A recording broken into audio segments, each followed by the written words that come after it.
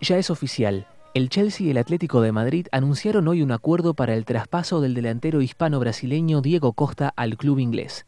El importe de la operación, 38 millones de euros, lo que vale su cláusula de rescisión. El jugador de 25 años e internacional con la selección española era uno de los principales objetivos de su nuevo entrenador, el portugués José Mourinho, quien ya había criticado los pocos goles aportados por sus delanteros Torres, Dembaba o Eto'o.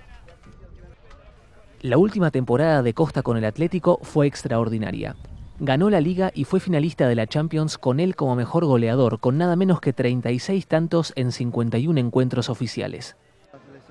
Un currículum que le sirve ahora para convertirse presumiblemente en una de las piezas más importantes de su nuevo equipo.